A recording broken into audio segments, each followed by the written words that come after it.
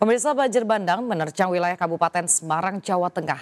Selain merendam ratusan rumah warga, banjir juga membuat sejumlah tiang listrik ambruk hingga menutup jalan. Belasan pengendara motor terjebak banjir bandang di Desa Duren, Kecamatan Bandungan, Kabupaten Semarang, Jawa Tengah. Kuatnya arus banjir bandang membuat pengendara kesulitan untuk menembus banjir. Banjir juga membuat sejumlah motor mogok.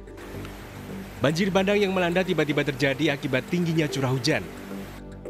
Selain merendam akses jalan dan ratusan rumah warga, banjir juga membuat sejumlah tiang listrik roboh hingga menutup jalan. Tiang listrik roboh sempat membuat warga sekitar khawatir karena muncul percikan api dari kabel listrik. Oh, di sini ada air, apinya. Oh, ada, ada percikannya itu ya, Pak ya. Jadi saat ini loka, uh, listrik di sekitar ini padam langsung sekitar telepon pihak yang berwenang langsung disuruh memadamkan. Petugas damkar dikerahkan untuk mengevakuasi tiang listrik yang roboh dan menutup jalan, serta membersihkan lumpur yang mengotori jalanan.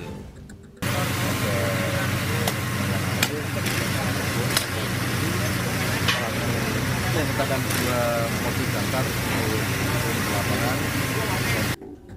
Selain di Kecamatan Bandungan, banjir juga mengenangi permukiman warga di Kecamatan Ambarawa akibat luapan sungai Bejalen.